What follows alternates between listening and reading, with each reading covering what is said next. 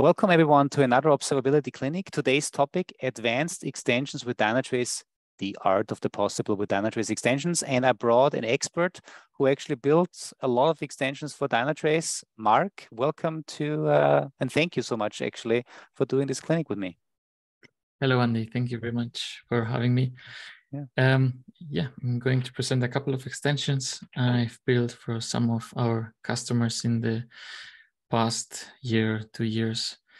And yeah, very happy to be presenting some of these here today. Yeah, no, thank you so much.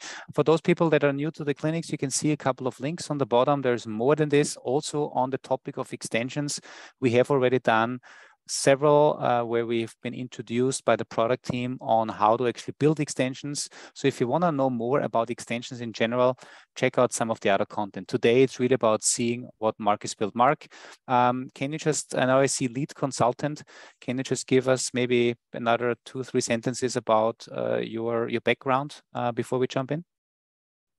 Yes, uh, happy to do that. So I've been in the past, before joining Dynatrace, uh, developer embedded systems developer and made a switch to cloud a couple of years ago. And yeah, went to Dynatrace and started with my consulting job. And yeah, very happy since then to have made that switch. And I've learned really a lot uh, from everybody in this company. Really great experience. Awesome. And then uh, Mark, the way we do it, uh, I know you have a couple of extensions prepared, a lot of live demos. So I will let you run the whole thing. Maybe, you know, you can also bring me in at the end of your demo to see if there's any questions. If something is clear or unclear, then I can also chime in. But Mark, with this, please show us how you are bringing uh, new features, new capabilities to our Dynatrace customers using our extension concept. Thank you. Yeah. So I will start uh, by saying that these extensions are built in Python. These are the 1.0 extensions that we're offering at the moment. And all of these extensions can be found through um, our services teams. So they will get in touch with me and we will make sure to get you one of those. Um, I will present these four extensions you see on the screen. Mm-hmm. Um, I will go through them uh, to, into each of one and yeah be showing you a little bit around the configuration uh, what problems they may generate uh, what the use cases are why they were even created uh, the way they are today mm. and yeah maybe let's jump right into it mm-hmm. thank you so the first one i want to present is the uh, create management zone extensions. So we already know, or probably most of you know about uh, Monaco. This goes a little bit, or the background of this is uh, a little bit uh, also um, similar to Monaco, but in a way that we had uh, specific constraints and we want to continuously um, onboard and create management zones for hosts that are being deployed where we install a one agent. So we defined a couple of rules and a couple of templates that are met depending on which host is installed with what kind of properties. And you can actually run this extension uh, via a cron string. So I will show you this. So you can run multiple in parallel and multiple active gates, one maybe every three hours, one maybe every six hours, something like that. And yeah, it will actively uh, run uh, without any uh, interaction. You just uh, let it sit there on ActiveGate and it will create the management zones for you. So maybe I will just jump right into this one. Mm -hmm. So this will be this extension, create management zone extensions. The templates are at the moment hard-coded in the extension, but can be extended uh, via simple JSON file, similar to the templates we see also for Monaco this uh, extension will uh, receive the URL, so to where this is actually going. In this case, it's just my Sprint tenant. Uh, DT tokens or Dynatrace token that will need to have some write permissions for configuration and read permission for entities. And yeah, the cron string, as I mentioned. So at the moment, this is running every minute, mm-hmm. um, but this is using uh, the cron string uh, Python module. So you can just here write any kind of, of cron string you want. So as I said, you can run it maybe, makes more sense to run it maybe once a day or once a week, uh, mm-hmm. depending on the amount of, of hosts you are deploying or onboarding during the day or during the week. And you also like um, to have some custom properties for the device. Um, maybe some customers would like to already give them some specific uh, metadata so you can write them uh, in a YAML-like uh, array and these properties will appear then under the device. So jumping into this specific uh, custom device, this would be the specific mm -hmm. custom device. All of my extensions are in this my extension group. And here we have the custom device. At the moment, the management zone counter is zero since there are no management zones to be created. Um, for this purpose, I actually have one management zone that need, should be created uh, in a matter of, of minutes. Um, I will remove the management zone that I have for this demo. And it's actually called Super Anwendung Demo. Mm -hmm. I will remove this management zone and we will see that in the next couple of minutes, this management zone will appear and the counter will um, just jump one up. Um, this extension does also check for specific properties of hosts. So if a host does not have the necessary properties to for the template to be filled out, it will generate a problem and we will see it on this page and you can get notified so that maybe the deployment process had an error. The deployment process couldn't get necessary properties from the database uh, or from the CMDB, but it's fetching all the properties for the host and the extension will automatically notify whoever uh, is in charge of, of the deployment process. So, so Mark, if I understand this correctly, this feels almost like an operator in the Kubernetes world where you have an operator that is basically you know, having a reconciliation loop, it's constantly scanning your desired state, and then it's always ensuring that your desired state is there. In your case, mm-hmm. and correct me if I'm wrong, your extension is constantly scanning your Dynatrace monitored environment, and if it sees, let's say, a host that is not assigned to a management zone or whatever kind of rules you specify, it will then make sure that the Dynatrace configuration is correctly set up. And in your case, this is, you know, it's creating a management zone, for instance. Oh yeah, here we go. That's it. Wow. That's it. Correctly. That's really cool. And since it's running every minute, um, yeah, we will have here this uh, graph that says, okay, a management zone was created. Everything is fine. So it sends just a custom info event with the name of the management zone, mm-hmm. what, what kind of maybe management zone it is, mm-hmm. or uh, what impact level it has in, in this case. Uh, we have a little bit more of a description and we could add a lot of more properties if we wanted to. And if we switch back to the management zone settings screen, uh, we have to make a refresh. And here we mm -hmm. see the Anwendung uh, was created again. These all um, rules are from the template, extracted from the template. Uh, they're based on specific tags we want to have. And in this case, uh, these are specific tags um, that we agreed on with a customer. Mm-hmm. So this is what we will be getting. Uh, we can extend this, we can reduce this however we like, and we can, mm, somebody can come here, delete it, and the extension will come again in the next couple of minutes and recreate it. So we ensure really that the state is how we like it. And, and yeah, basically the extension will be there uh, when we maybe mess up or we accidentally delete something we shouldn't be deleting is a really cool use case. So uh, really monitoring and observing if your Dynatrace configuration is correct based on rules. So instead of uh, you know you having because there's two approaches as you mentioned we have our api we have uh, tools like monaco monitoring as code that we typically say as part of a deployment pipeline or as mm-hmm. part of a change process you are basically configuring these things in dynatrace in your case you're doing a different approach you have a an extension that every minute basically validates is your Dynatrace configuration uh, as it should be based on the live data that you have in Dynatrace, based on the mon yeah, metadata. That's really cool. Yes, yes, that's it exactly. So we ensure that the state remains the same. And when new ones come in, they will also either be added to the management zone automatically due to the tags mm -hmm. in this case, or uh, the management zone will be created for this new host. Awesome.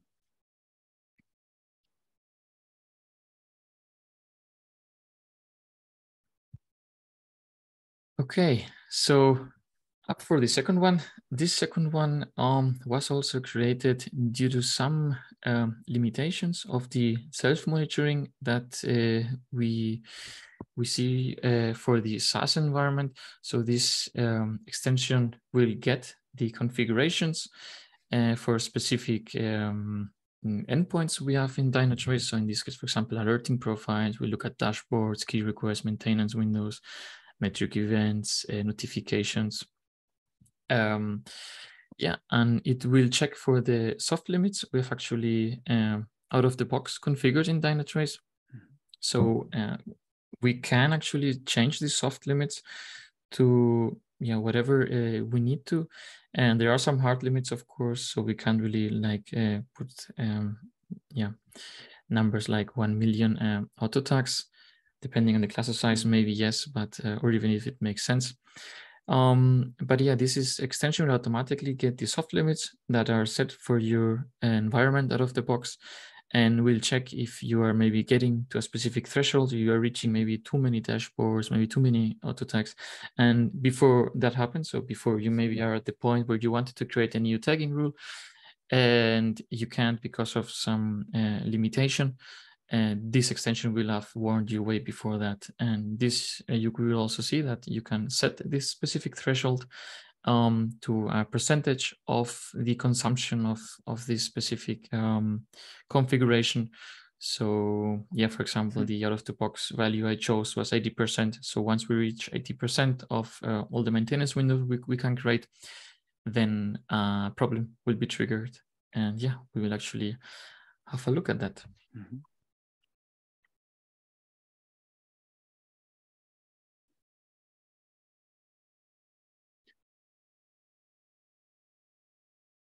So let's go back to the settings. And here under the extensions, we find the environment alerts extension. And the way I chose to go with this extension is pretty similar to what I did for the extension beforehand. Um, this gets a URL for Dynatrace, your Dynatrace environment and Dynatrace token, that will um, need to be able to check for all of these uh, settings. So it does check for settings 2.0, uh, the whole schemas and objects, and it does check for the configuration v1 as well.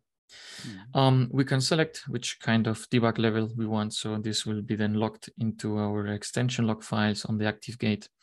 Uh, at the moment, I have a debug, but you can choose from any of these.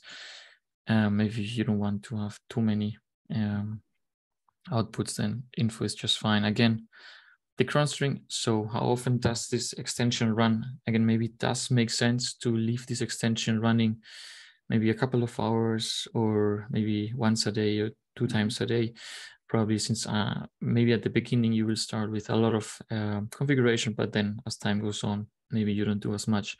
So maybe having it run a little bit less than every minute uh, is pretty sensible. Mm -hmm.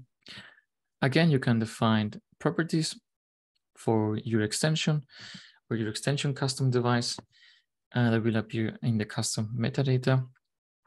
And here we have the threshold that I was talking about. So this is the a percentage that will be looked at. Um, it will compare the actual consumption of your, for, for example, alerting profiles against this threshold. And if this threshold is um, broken, then you get a problem on your custom device and on your environment. So these are at the moment the configurations I've set up to look at. These are the default soft limits configured out of the box for each environment. Um, you can adapt this to whatever um, limit you have set. Uh, they have a hard limit, but in between the soft limit and this hard limit, you can set a number, um, whatever you have configured for your own environment. Um, this extension can be uh, um, extended with uh, the new endpoints or new settings objects, um, however you like. Mm -hmm. So feel free uh, once you get your hands on to extend it. I have tried to make this API, so to say, uh, in Python pretty straightforward so that it gets a specific uh, payload and it will upload the consumption data to your environment. Mm -hmm. Especially with the uh, API v2s now that we have read most APIs always return like a total count because basically what your extension does here is like it queries the API. How many dashboards do you have? How many alerting profiles? And I really like the idea, by the way. It's it's a really it's very simple yet very powerful. And I know with the threshold you put it to one. I think you did this uh, to just show what it uh, how it then looks like when an error comes in because obviously one percent is is a very low number. I would assume typically you would do something like 60, 70 percent. So if you reach a certain let's say limit of 70 80 percent you want to get mm-hmm. alert yeah but that's that's really yeah. really cool really amazing yeah so just for this uh, demonstration i have put it at 1% so that we see the actual error in mm-hmm. dynatrace and yeah we have something something mm-hmm. to, to, see mm-hmm. and yeah so let's jump into the actual custom device for this extension so this is the environment alerts extension mm-hmm that is showing a couple of problems already. So mm-hmm. here we can see that uh, this extension is also showing the consumption, mm-hmm. or in this case, the um, yeah, the amount of key requests we are consuming, the amount of maintenance window we have, the amount of metrics events, dashboards, and so on, alerting profiles. All of these are also a specific metric, so we can make mm, extra dashboards for it or uh, query um, yeah, through the data explorer, again, if you want to have a further look at them, um, I have haven't displayed all of the metrics inside this display. There are some more that we can view under the metrics viewer or directly under, under the data explorer.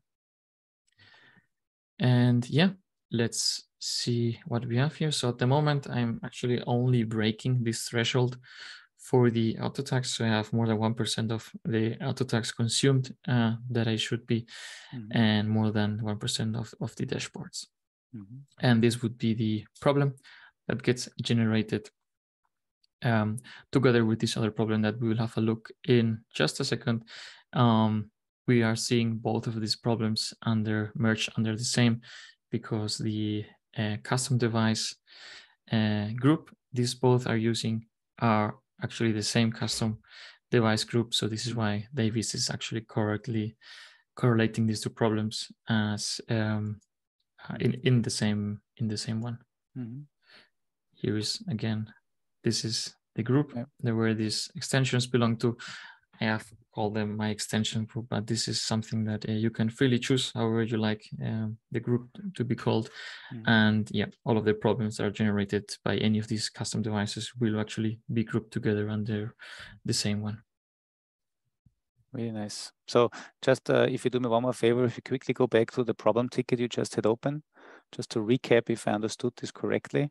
Uh, what this really means is that um, I know you've set a very low threshold of 1%. So you basically said, I want to be alerted if I have more than 1% of auto tags of dashboards to my soft limits. So your soft limit for dashboards is, for instance, 2000.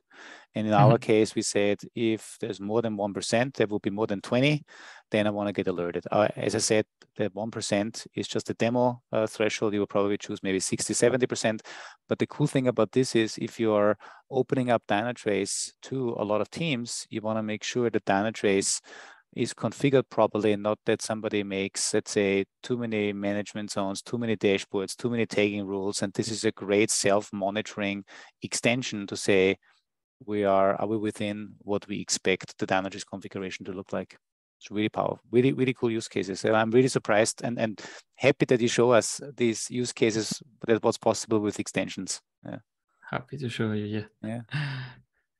yeah, so everybody can get these extensions and uh, play around and do their own self-monitoring for any kind of environment. Mm-hmm. So let's jump into the next extension then. Mm-hmm. Mm-hmm. Um, here we have the one that uh, we just showed a second ago. This one will um, actually there were some kind of requirements uh, for this extension. So we can generate personal access tokens, we can generate API tokens, so these new access tokens. And we had some these requirements. So all of the tokens must have a maximum validity of 365 days. So there is a year.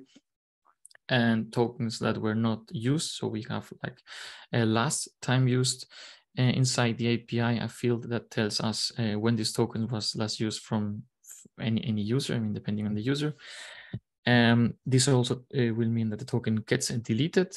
Uh, first of all, it gets a warning inside the threshold, and then it will get automatically deleted and also if a token is about to expire. So we have like this uh, fixed threshold of 365 days, and we can set um, how long before we want to get an alert. Um, we will get uh, an alert that a specific token is about to expire, and eventually we'll be also able to automatically create a new token for the specific user with the same scopes. And yeah, this is basically just a token rotation um, again, this token extension will check periodically for any kind of these uh, constraints and generate an alert, uh, generate new tokens and alert the owners, notify the owners if any of these is about to expire, any of these conditions is met. So let's jump right into the demo again. I will go through these settings real quick for this extension. Here we have the token token validity extension.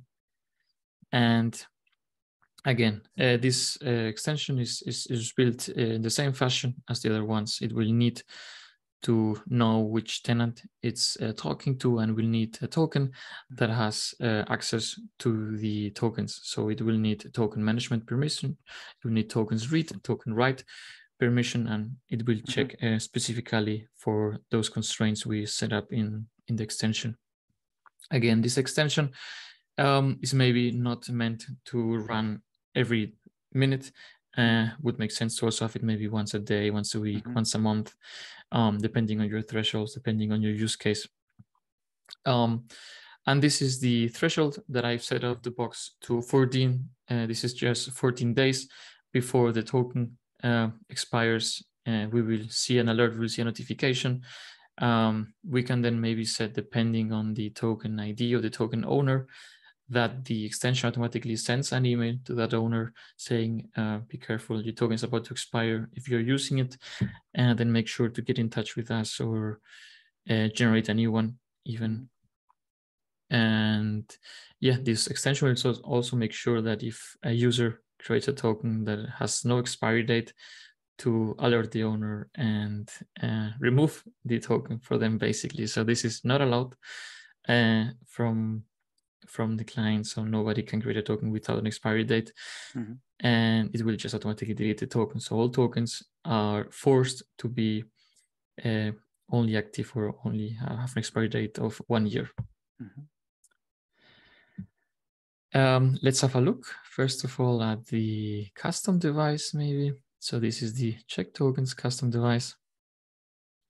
And yeah, this doesn't really have much besides this uh, these events that are coming in. So I have created beforehand, before this session, actually a token that is expiring uh, next Saturday. Mm -hmm. And it will tell us here that this is an error event. It will tell us that the token, this is just an ID, will expire in the next four days. Mm-hmm. It will tell us the expiry date, uh, uh, yeah, exactly when it's expiring and how many days are left. A little bit of metadata I brought in there.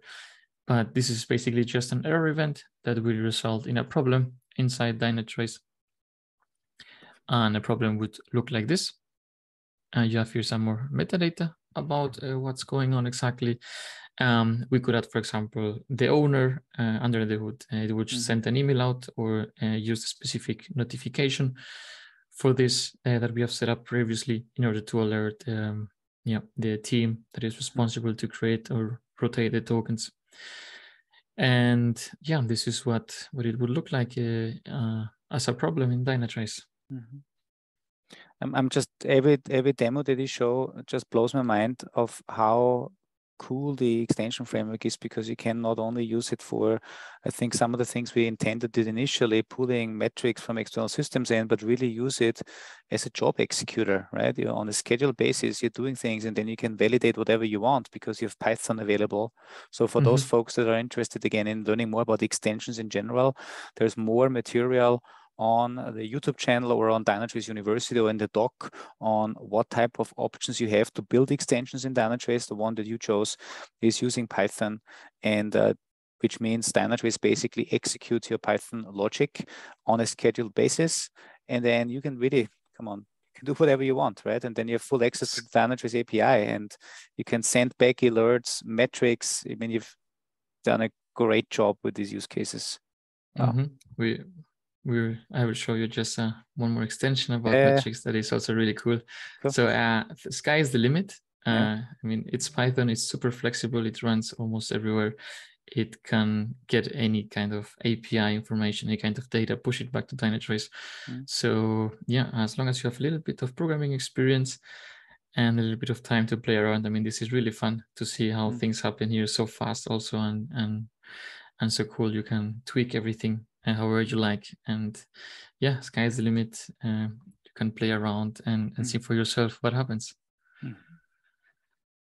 So yeah, let me get back to um yeah, I believe we have two more two more extensions I want to show you. So this one um, is also more specific, a little bit uh, more like a temporary, like short to midterm extension that um, could be interesting. So what this does is, basically um, creates a heartbeat or a kind of a status uh, metric for custom devices, and maybe that are used for infrastructure monitoring that uh, we are not able to install the extension for it that just yet uh, for some other kind of devices, mainframe systems that we want to monitor temporarily until we have the full deployment of mainframe for it and the full monitoring for it. And what this does is basically the, our custom devices are designed uh, that they either get some kind of metric and they uh, stay there and, and are there for us. Uh, but if you want to have a custom device that only gets events, for example, and just lets you get a notification of a problem that is ongoing in your infrastructure and this specific um, device of the infrastructure cannot be monitored by a one agent or by a normal mean, so to say. We can create a mirror system for it, like a mirror custom device inside Dynatrace and have, uh, for example, a separate script that is uh, run on that machine or on a parallel machine that has access to this machine and can say, okay, this is actually having a problem. Please send uh, this event to Dynatrace via the API and onto this custom device that is actually should be mirroring this is this system in the infrastructure. And this is one of the use cases. And what this uh, uh, extension does is basically just sends a heartbeat and says, okay, uh, stay there, custom device. You are re really not receiving any kind of, of special metric. Um, just stay there and, and exist for us uh, in order to get events and notify us when something goes wrong. Um, otherwise, custom devices uh, are bound to, to disappear after 72 hours. And this extension will just make sure to refresh the device and make it be there and so that it does basically not uh, disappear. Um, this extension will not refresh any specific custom device. So we need to tag them uh, with a specific tag. And this extension will pull all the custom devices with that specific tag and basically only refresh those uh, that are that are tagged uh, this way. So we are not uh, refreshing or sending any kind of, of, of metric to, for example, extension custom devices or other kind of custom devices we don't want to, to touch at the moment and only refresh those uh, that are basically infrastructure components we want to we want to keep there. Uh, yep, this extension works in a similar fashion again as the other couple of ones. So I will show you, first of all, the configuration side for this extension. This would be the Keep Alive extension. Um, again, it will need the endpoint name and the trace token. So this, in this case, it will need to write a time series to the custom devices.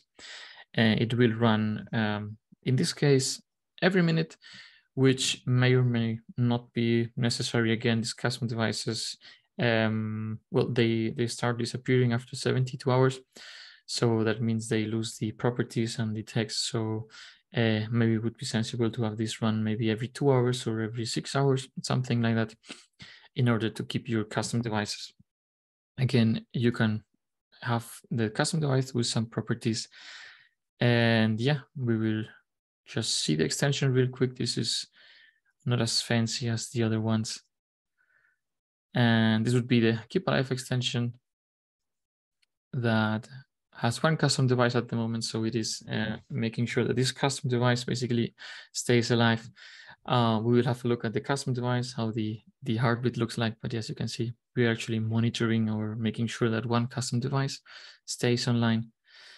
And this would be just the extension with the management, uh, with the um, custom device counter. And then we have here under the custom devices, we have this demo device that is actually getting this heartbeat metric. And this is uh, the tag I was talking about. So this is actually a hard-coded tag. It can have any value. Uh, the value doesn't really doesn't really matter that much. And yeah, it will make sure that the device stays here. It doesn't disappear. It's always there since it's getting refreshed, basically getting this metric, this heartbeat metric, and it will always be at the top of our page, regardless of what time frame mm. uh, we choose. Uh, we will always be seeing it, and it will be always be there for us to catch the events and notify us in case something goes wrong with this infrastructure device, basically. Mm-hmm. Really cool. So just to recap, if I understand this correctly, also for people that are not aware, Dynatrace obviously has a lot of um, monitored entities that we see through our agent, so like a host, a process service. However, you can also have custom devices, like we've seen many today already.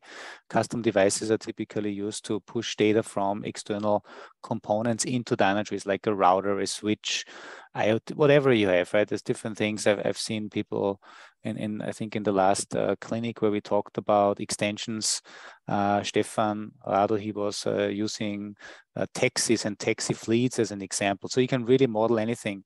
The point is any monitored entity, like also custom devices, they will kind of fade out uh, if there's no data coming in for a certain time. So your extension basically makes sure to send a heartbeat event, basically logging in a little piece of data on custom devices that we don't want to go away just maybe for the reason of hey these might be offline for a long long time and therefore not sending data mm-hmm. but still we want dynatrace to just show them all the time and that's a really not a cool use case it's it's really really powerful yeah. yeah. these are just devices that are maybe are there for years without any problem but then yeah. uh, suddenly something arises something goes wrong power outage anything can be and this device is no longer or this system is no longer online and it, we will get the notification, we will get the event, and yeah, we will have to do something to repair the system. So yeah, this is basically the use case for this one. So yeah, as I said, this is actually a short one. Um, the next one, this is a little bit more of a um, playground sandboxy extension where you can do a lot of things. Um, I tried to keep it uh, yeah so that the user can do more things uh, they can send metrics with it they can check for commands they can execute. Um, arbitrary commands almost arbitrary not anything is possible but you can do quite a lot of stuff with this extension that is really cool. Uh, this extension i have designed it in a way that you basically pass it down uh, kind of a YAML like configuration uh, for each command you want to execute and if this command, for example, ends in a signal number, so in a digit, uh, you can actually pass this command a specific key and some dimensions. And this command will then be pushed as a metric point into Dynatrace. Um, so in this case, uh, this extension was actually uh, created because we do not monitor uh, each idle state of the CPU cores uh, individually, and you can get that with, for example, this tool, this uh, mpstat tool uh, under an Ubuntu machine in this case. For a Red Hat machine, for example, could uh, vary a little bit, um, would depend on what you have installed, which modules you have installed. And yeah, if the command fails, uh, it does not, uh, the for example, the return code does not uh, match with the return code you defined in your extension, you will see that you get a problem, you get a notification uh, because the specific command you tried to run did not run correctly, ended up in an exception maybe, or just the return code was unexpected. Um, one thing to note, all of the previous extensions were ActiveGate extensions. So they run on the ActiveGate a remote plugin module. And this is actually a OneAgent extension. So this will run on any host that has a OneAgent on it. Um, you can run these commands, and they will get executed. And, and depending on the status of the return, you will get a, an error, for example. Um, I've used this extension to check for uh, file systems, to check for partitions, to check the sizes of, of this. Maybe if, yeah, if you want to do it through the extension, you can check if a mm, specific directory is there, um, if a specific file is there, and to send yeah some type of metrics, for example, like this um, idle time of the CPU cores of the individual yeah, CPU cores. Mm -hmm it's very flexible. So really any any comment that you want to execute in the context of the OneAgent, and then you just say, send me the output of that as a metric back to Dynatrace. That's really, mm-hmm. really nice. Yeah. Wow. Yeah. And these extensions, uh, as I said, lets you configure um, many hosts at the same time as well. So you can have uh, from many hosts this extension running. Um, with the extensions 2.0 framework, we will be able to deploy this extension way faster and um, across the whole infrastructure in just a matter of clicks. Uh, in this case, we are still using the extension uh, framework 1.0. And this is what the configuration would look like for this specific extension. We again have um, have this uh, debug level, how often we want to log or how much, how the verbosity we want to log in this case. And this extension will actually be running every minute. Um, this uh, did make sense when we were discussing how often this will be running. Um, again, mm, we could of course change this to maybe also run maybe every every hour, so have like a cron string again. Um, yeah, this would be a matter to discuss when when or why uh, we would like to to run this extension. And yeah, I have here a little bit more of commands that uh, we just saw. So actually, uh, CPU can have many cores. In this case, I am just queuing the the status of the idle time for the first two CPU cores, so the zero and the one. Um, this is the actual command that will be running on the machine and basically will fetch the fifth and sixth line of this command. This is like a table for each. Um, we are getting uh, the results of the CPU cores and inside the 47th column, so to say, uh, we have the actual data. And in the row fifth, we find the one for the core zero. And on the sixth row, we find the information for the first core. Um, this data is then sent to Dynatrace as a normal metric. So we can go into the data explorer, write, for example, idle time, and we will see here, this is our custom generic metric CPU.idle. This is a dimension key we can uh, play around with or define uh, however we want. And we can also send the specific um, dimensions if you have any. So we can send one or many. This is just uh, this one-liner metric ingest, we can play around. We can have multiple dimensions as well, depending on the result of the of the command. And this is the actual uh, merged values of the idle time of the cores. And we can split them by core ID run the query again, and we can see here we actually the two times and uh, the idle time for this. There's not not much happening in this on this box at the moment. So the idle times, yeah, basically almost the same. Mm. So we have here for the zero and for the first one. Uh, Mark, just a clarification question. This is a OneAgent extension, which means when you're sending the events back, you are booking it on the host the OneAgent is running on. Um, these ex, these metrics are uh, just sent without uh, without a specific um, entity in mind. So th mm-hmm. this this would be, um, or let me. I think it then, it then just goes to the host itself. Yeah, yeah, yeah. They, yeah, go, yeah, They, they go to the host itself. Yeah. Yeah, perfect. Mm -hmm. Yeah, so you will you will just yeah be able to query by the host, of course. Yeah. Yeah. And then the other command that was in there, it was the, to check for a specific file that does not exist on this system. And this is the one that we see here. We are seeing that this uh, extension is trying to execute a command and that is not going to work because we are checking for, yeah, well, I'm going now into the, into the system. Uh, we are checking for the specific file some non-existent file. Um, this is just the test for a specific file. If it does exist, it will return zero. If it does not, it will return one. And is just saying, okay, you're trying to check for this file that does not exist. Um, and yeah, you're getting an alert for this. And this is yeah very flexible. You could run any kind of command, like for example, a partition size of a partition uh, itself, and check the status of it and check the return code. And if it doesn't match with what you have passed down to the extension as a configuration parameter, then you will get a problem for it. I can only repeat myself. It's phenomenal what extensions can do. And I think you truly showed the art of the possible, what people can do with extensions. All of the extensions that you've shown today, as a reminder, reach out if you are a Dynatrace user, an existing user, reach out to your Dynatrace team. Um, they can get you in touch with our uh, consultants. Um, these extensions are, I, I, assume, not on the hub or publicly listed, but these are extensions that you can get to the services team.